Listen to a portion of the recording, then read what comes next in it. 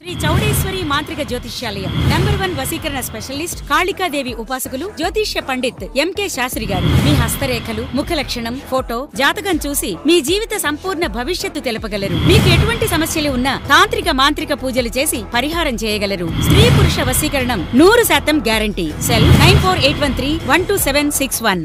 నమస్తే folks welcome to my channel. Folks మొక్కెదగాలంటే కావాల్సింది ఖరీదైన కుండి కాదు నాణ్యమైన మట్టి. పిల్లలు ఉన్నతంగా ఎదగడానికి కావాల్సింది సంపాదన కాదు సంస్కారం. అసలు నేను మార్చి మాట చెప్పడానికి గల కారణం నటి సౌమ్య శెట్టి. సౌమ్య కిల్లంపల్లి అలియా సౌమ్య శెట్టి.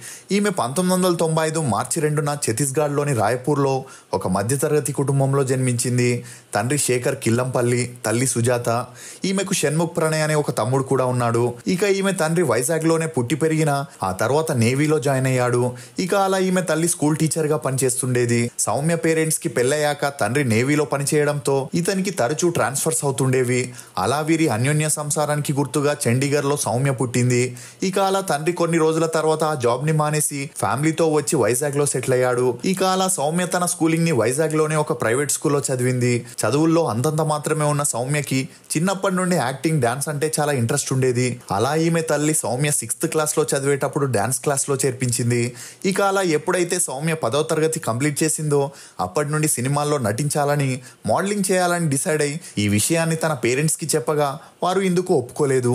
దీంతో ఈమె ఇంట్లో చెప్పకుండా తన పదహారేళ్ళకే హైదరాబాద్కి వచ్చేసి తనకి తెలిసిన ఫ్రెండ్ రూమ్లో ఉంటూ సినిమాల్లో ట్రై చేయడం మొదలెట్టింది. ఇక అలా కూతుర్ని వెతుక్కుంటూ వచ్చిన తల్లిదండ్రులు సౌమ్యని హైదరాబాద్ నుండి ఇంటికి తీసుకెళ్ళి ముందు నీ ఎడ్యుకేషన్ని కంప్లీట్ చేసి ఆ తర్వాత నీకు నచ్చింది చేయని నచ్చజెప్పడంతో సౌమ్యకి వేరే దారి లేక ఒక కాలేజీలో ఇంటర్లో జాయిన్ అయింది. ఇక అలా ఇంటర్ చదువుకుంటూనే వైజాగ్లో జరిగే షార్ట్ ఫిలిమ్స్లోనూ డెమో ఫిలిమ్స్లోనూ తల్లిదండ్రులకి తెలియకుండా యాక్ట్ చేస్తుండేది. ఇక ఈ విషయం ఎలాగోలా ఈమె పేరెంట్స్కి తెలిసి ఇలా వదిలేస్తే కూతురు చేయిజారిపోతుందని త్వరగా పెళ్ళి చేయాలనుకున్నారు. కానీ సౌమ్య మాత్రం ఇంటర్ చదివేటప్పుడే తన స్కూల్లో సీనియర్ అయిన బలరాం శెట్టి అనే అబ్బాయితో ప్రేమలో పడింది. ఇక అలా తల్లిదండ్రులు వేరే అబ్బాయితో పెళ్ళి చేస్తారని భయపడిన సౌమ్య తన ప్రేమ విషయాన్ని తల్లిదండ్రులకి చెప్పగా వారు ఆ సంబంధాన్ని ఒప్పుకోలేదు. దీంతో సౌమ్య బలరాం శెట్టితో ఇంటి నుండి పారిపోయి రెండు వేల పదమూడులో సీక్రెట్గా పెళ్ళి చేసుకుని వైజాగ్లో ఒక అద్దిల్లు తీసుకుని అక్కడే సెటిల్ అయ్యారు ఇక అప్పటి నుండి తల్లిదండ్రులు సౌమ్యతో మాట్లాడడం మానేశారు. అయినా ఇదంతా పట్టించుకోకుండా సౌమ్య తన భర్త సపోర్ట్తో సినిమాల్లో ట్రై చేయాలనుకుంది. ఇక ఈమె భర్త బలరాం శెట్టి కూడా యాక్టింగ్లో మక్కువ ఎక్కువగా ఉండడంతో వీరిద్దరూ కలిసి యాక్టింగ్లో ట్రయల్స్ చేయడం మొదలెట్టారు. ఇక ఇదిలా ఉంటే రెండు వేల పదమూడులో త్రీ జీ లవ్ అనే మూవీ ఆడిషన్ని వైజాగ్లో నిర్వహించగా అందులో వీరిద్దరూ పాల్గొనడం జరిగింది. ఇక మౌనిక అనే అమ్మాయి అదే మూవీ ఆడిషన్కి రావడంతో అక్కడే మౌనికతో సౌమ్యకి పరిచయం ఏర్పడింది. అలా వీరిద్దరూ నెంబర్స్ని ఎక్స్చేంజ్ చేసుకొని అప్పటి నుండి సోషల్ మీడియాలో తరచూ చాట్ చేస్తూ టచ్లో ఉండేవారు. ఇక ఇదిలా ఉంటే ఎలాగైనా తన టాలెంట్ని సినిమాల్లో ప్రూవ్ చేసుకోవాలని సౌమ్య పట్టువదలని విక్రమార్కుల్లా ట్రై చేస్తున్నప్పుడే బాలరాజు అనే డైరెక్టర్ చందమామరావే అనే షార్ట్ ఫిల్మ్ ఆడిషన్ని వైజాగ్లో నిర్వహిస్తున్నాడని తెలుసుకొని ఈ భార్య భర్తలిద్దరూ ఆడిషన్లో పాల్గొనగా వీరిద్దరిని ఆ డైరెక్టర్ సెలెక్ట్ చేయడం జరిగింది. ఇక అలా రెండు వేల పదిహేనులో ఆ షార్ట్ ఫిల్మ్ షూట్ కంప్లీట్ చేసి ఒక యూట్యూబ్ ఛానల్లో రిలీజ్ చేయగా అందులో వీరి యాక్టింగ్ అంతంత మాత్రమే ఉండడంతో ఆ షార్ట్ ఫిల్మ్కి అంతలా జనాదరణ రాలేదు.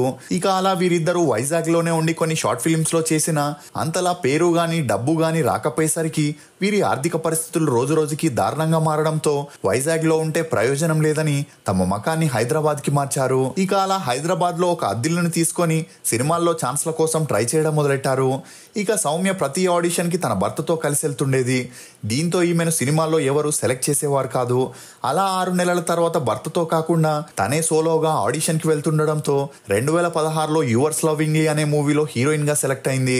ఇక ఆ మూవీ రెండు వేల పదిహేడులో రిలీజ్ అయ్యి అటు వచ్చి ఇటు వెళ్ళిపోయిందనే poczuł అలా వెంటనే బాయ్స్ అండ్ గర్ల్స్ అనే మూవీ చేయగా ఈ మూవీ కూడా రెండు వేల పద్దెనిమిదిలో రిలీజ్ అయి ఫ్లాప్ అయింది. ఇక సినిమాలో కాస్టింగ్ కౌచ్ అనేది కంపల్సరీగా ఉంటుంది కాబట్టి ఒక అమ్మాయి హీరోయిన్గా ఎదగాలంటే అన్నింటికీ సిద్ధంగా ఉండాలి. ఇక సౌమ్య శెట్టి కూడా తన ఆర్థిక పరిస్థితుల కారణంగా అన్నింటికీ అడ్జస్ట్ అవుతూ సుపారి ప్రేమతో అభిరామ్ ట్రిప్ అనే మూవీస్ని చేసింది. కానీ ఈమెకు మొదటి సినిమా నుండే బోల్డ్ అండ్ ఎక్స్పోజింగ్ క్యారెక్టర్స్ ఇవ్వడంతో ఆ తర్వాత చేసిన అన్ని మూవీస్ లోనూ ఎక్స్పోజింగ్ క్యారెక్టర్స్ వచ్చేవే తప్ప తన టాలెంట్ని ప్రూవ్ చేసుకునేలా ఒక్క ఛాన్స్ కూడా రాలేదు. ఇక నేను ప్రీవియస్ వీడియోలో చెప్పినట్టు తెలుగు అమ్మాయిలకి ఎంత టాలెంట్ ఉన్నా చూడ్డానికి ఎంత అందంగా ఉన్నా ఇక్కడి ఆర్టిస్ట్ కోఆర్డినేటర్స్ మరియు తెలుగు డైరెక్టర్స్ ప్రొడ్యూసర్స్ ఎంకరేజ్ చేయరు. ఎందుకంటే మూవీస్లో కమిట్మెంట్ కామన్ కాబట్టి తెలుగు అమ్మాయిలు ముందుగా అన్నింటికి ఓకే చెప్పి ఆ తర్వాత షూటింగ్ స్టార్ట్ అయ్యాక కండిషన్స్కి ఒప్పుకోకపోవడం లేక షూటింగ్కి ఫ్యామిలీ మొత్తాన్ని తీసుకొచ్చి వారిని డిసప్పాయింట్ చేయడంతో తెలుగు అమ్మాయిలకి ఛాన్స్ ఇవ్వడానికి వెనకడుగు వేసి బాంబే కేరళ బెంగళూరు అమ్మాయిలకి సపోర్ట్ చేసేందుకు ఇంట్రెస్ట్ చూపిస్తారు. ఎందుకంటే వారు అన్నింటికి రెడీగా ఉంటూ ఎప్పటికైనా సమస్యలను తీసుకురారు కాబట్టి ఇక్కడి ప్రొడ్యూసర్స్ డైరెక్టర్స్ వారికే హీరోయిన్స్గా ప్రియారిటీనిస్తారు. కానీ లో బడ్జెట్ మూవీస్ వారికి పక్క స్టేట్ నుండి అమ్మాయిల్ని రప్పించడానికి బడ్జెట్ లేకపోవడంతో సౌమ్య శెట్టి లాంటి వారిని హీరోయిన్స్గా తీసుకుంటారు. ఇక అలా రెండు వేల పద్నాలుగులో స్టార్ట్ అయిన సౌమ్య కెరియర్ రెండు వేల ఇరవై ఒకటి వచ్చేసరికి తొమ్మిది సినిమాల్లో నటించింది. ఇక అలా మధ్య మధ్యలో మీడియం బడ్జెట్ మూవీస్లో ఫ్రెండ్ క్యారెక్టర్స్ని జూనియర్ ఆర్టిస్ట్గా కూడా కొన్ని మూవీస్లో చేసింది. ఇక అలా తెలుగులో ఎంత కష్టపడినా ఈమెకు నేమ్ గానీ ఫేమ్ గానీ రాకపోయేసరికి తమిళ్ మూవీస్లో మలయాళం మూవీస్లో కూడా ట్రై చేసినా ఏ ప్రయోజనం లేకుండా పోయింది. అంతేకాకుండా అదే సమయంలో కరోనా రావడంతో వీరి ఆర్థిక పరిస్థితులు దారుణంగా మారాయి. ఇక అలా తినడానికి రెంట్ కట్టడానికి డబ్బులు లేకపోవడంతో తప్పని పరిస్థితుల్లో సౌమ్య తన తల్లిదండ్రుల్ని కాంటాక్ట్ అవ్వగా వీరి పరిస్థితిని అర్థం చేసుకుని వైజాగ్కి రప్పించుకున్నారు. ఇక అలా సౌమ్య కరోనా టైంలో ఇన్స్టాగ్రామ్లో ఒక అకౌంట్ని క్రియేట్ చేసి తను నటించిన మూవీ పిక్స్ని డాన్స్ చేస్తూ కొన్ని రీల్స్ని హాట్ ఫోటో షూట్ని చేసి అప్లోడ్ చేస్తూ కొద్ది రోజుల్లోనే వన్ లాక్ ఫాలోవర్స్ని తెచ్చుకుంది. ఇక అలా ఎలాగైనా ఇన్ఫ్లుయెన్సర్గా మారితే తను పెట్టే పోస్ట్లకి డబ్బులతో పాటు బ్రాండ్స్ని కూడా ప్రమోట్ చేసి డబ్బు సంపాదించొచ్చని సౌమ్య తరచూ తన గ్లామర్ ఫోటోల్ని అప్లోడ్ చేస్తుండేది. ఇక అలా మంచి లొకేషన్స్కి వెళ్ళి ఫొటోస్ దిగుదామంటే తన ఆర్థిక పరిస్థితులు అంతంత మాత్రమే ఉండేవి. ఇక ఇదిలా ఉంటే కరోనా ముగిశాక సినిమాల్లో ట్రై చేద్దామంటే అప్పటికే సౌమ్య ఇంట్లో ఉండి చాలా లావుగా మారడంతో ఎవరు ఈమెకు సినిమాల్లో అవకాశాలు ఇవ్వలేదు. దీంతో వేరే దారి లేక ఈమె భర్త ఒక ప్రైవేట్ కంపెనీలో జాబ్లో జాయిన్ అయ్యాడు. కానీ ఆ జాబ్ని కూడా ఎక్కువ రోజులు చేయలేకపోయాడు. ఇక ఆ మధ్యలోనే సౌమ్య ఒసై సూర్యకాంతం అనే ప్రైవేట్ సాంగ్లో మాస్టర్ పీస్ అనే ఒక మూవీలోనూ చిన్న పాత్రని చేసింది. ఇక ఇదిలా ఉంటే ఇన్స్టాగ్రామ్ అంటే షో ఆఫ్ కాబట్టి పాపులారిటీ కోసం ఉన్నది లేనట్టు లేనిది ఉన్నట్టు క్రియేట్ చేస్తుంటారు. ఇక అలా సౌమ్య కూడా ఇతర ఇన్ఫ్లుయెన్సర్స్ లాగే మంచి మంచి ప్లేసెస్కి వెళ్తూ కాస్ట్లీ బట్టలు వేసుకొని మంచి వీడియోస్ని తీసి ఇన్స్టాగ్రామ్లో అప్లోడ్ చేయాలని నాలుగు లక్షల వరకు డబ్బుల్ని అప్పుగా తీసుకొని తన భర్తతో కలిసి లోకల్లో ఉండే ప్లేసెస్కి వెళ్తూ అక్కడ దిగిన ఫొటోస్ని ఇన్స్టాగ్రామ్లో అప్లోడ్ చేస్తుండేది. ఇక ఇదిలా ఉంటే ఈమె కొన్ని ఇంటర్వ్యూస్లో మాట్లాడుతూ తనకి రెండు వేల పదమూడులో బలరామ్తో ఎంగేజ్మెంట్ అయిందని అప్పటి నుండి లివింగ్ టుగెదర్లో ఉంటున్నామే గానీ ఇంకా పెళ్ళి చేసుకోలేదని సినిమా ఛాన్స్ల కోసం సౌమ్య అబద్ధం చెప్పడం విశేషం. ఇక ఇదిలా ఉంటే రెండు వేల పదమూడులో త్రీ జీ లవ్ మూవీ ఆడిషన్లో కలిసిన మోనిక తరచూ సోషల్ మీడియాలో యాక్టివ్గా ఉంటూ తనకి మ్యారేజ్ అయిన పిక్స్ని పాప పుట్టిన పిక్స్ని పోస్ట్ చేస్తుండేది. ఇక అలా రెండు వేల ఇరవై నాలుగు జనవరి ఇరవై ఏడున సౌమ్య శెట్టి మౌనిక పోస్ట్ చూసి మళ్ళీ ఈమెను కాంటాక్ట్ అవ్వడం జరిగింది. దీంతో పాత స్నేహితురాలైన సౌమ్య శెట్టి మూవీస్లో యాక్ట్ చేసి కాస్త ఫేమ్ తెచ్చుకోవడంతో మౌనిక సౌమ్య శెట్టితో మాట్లాడడానికి ఇంట్రెస్ట్ చూపించింది. ఇక అలా మాట మాటల్లో మౌనిక సౌమ్యని ఇంటికి రమ్మని పిలవడం జరిగింది. అలా తర్వాత సౌమ్య జనవరి ఇరవై తొమ్మిదిన మౌనికకి ఫోన్ చేసి తన భర్తతో కలిసి ఇంటికి వస్తున్నానని చెప్పగా అందుకు మౌనిక సరే అనడం జరిగింది. ఇక అలా సౌమ్య తన భర్తతో కలిసి మౌనిక ఇంటికి వెళ్ళగానే మౌనిక ఆమె తల్లి సౌమ్యకి ఇల్లంతా చూపిస్తూ తమ దగ్గరుండే నగల్ని చీరల్ని సౌమ్యకి చూపించడం జరిగింది. దీంతో వాటిని చూసిన సౌమ్యకి దుర్బుద్ధి కలిగి తమ లగ్జరీ లైఫ్ కోసం నాలుగు లక్షల వరకు అప్పించిన వారు తరచూ ఫోన్ చేసి టార్చర్ పెట్టడంతో సౌమ్య ఆ నగల్ని కాజేసి తనకున్న ప్రాబ్లమ్స్ అన్నింటినీ సాల్వ్ చేసుకోవాలనుకుంది. ఇక అలా వీరు హాల్లోకి వచ్చి టీ తాగిన తర్వాత సౌమ్య రెస్ట్ రూమ్కి వెళ్ళాలని చెప్పి మౌనిక రూమ్లోకి వెళ్ళి డోర్ని లాక్ చేసుకుంది. ఇక అలా సౌమ్య భర్త బలరాం మౌనికని ఆమె పేరెంట్స్ని మాటల్లో పెట్టి ఆ రూమ్ వైపు వారి దృష్టిని వెళ్ళకుండా మళ్ళించాడు. అలా ముప్పై నిమిషాల తర్వాత బయటకు వచ్చిన సౌమ్య కాసేపు వారందరితో మాట్లాడి అక్కడి నుండి భర్తతో ఇంటికి వెళ్ళిపోయింది ఇక అలా సౌమ్య తన ఇంటికి వెళ్ళి చూడగా రెండు వందల గ్రాములకి పైగా మౌనిక ఇంట్లో నుండి దొంగలించడం జరిగింది. అలా అప్పటి నుండి నాలుగు రోజుల వరకు తరచూ సౌమ్య మౌనికతో మాట్లాడుతూ తన కూతుర్ని మళ్ళీ కనిపిస్తుందని ఫిబ్రవరి రెండవ తారీఖు తన భర్తతో కలిసి ఇంటికి వస్తానని మౌనికతో చెప్పడం జరిగింది. ఇక అలా ఇంటికి వెళ్ళాక సౌమ్య మళ్ళీ మౌనిక రూమ్లోకి టాయిలెట్ కని వెళ్ళి ఆ రూమ్ డోర్ని క్లోజ్ చేసుకుంది. అలా ఒక గంట తర్వాత బయటికి వచ్చి హెడ్ఎక్గా ఉందని చెప్పి సౌమ్య తన భర్తతో కలిసి ఇంటికి వెళ్ళిపోయింది ఇక అలా మరోసారి రెండు వందల గ్రాములకి పైగా గోల్డ్ని దొంగలించడం జరిగింది. దీంతో సౌమ్య తన దగ్గరున్న గోల్డ్ని తల్లితో కలిసి లలిత జ్యువెలరీలో అమ్మగా అలా వచ్చిన డబ్బులతో అప్పుని తీర్చి కొంత డబ్బుని అకౌంట్లో వేసుకుంది. ఇక ఇదిలా ఉంటే మౌనిక కుటుంబం పద్నాలుగు రోజులైనా ఇంట్లో ఉన్న గోల్డ్ని చెక్ చేసుకోలేదు.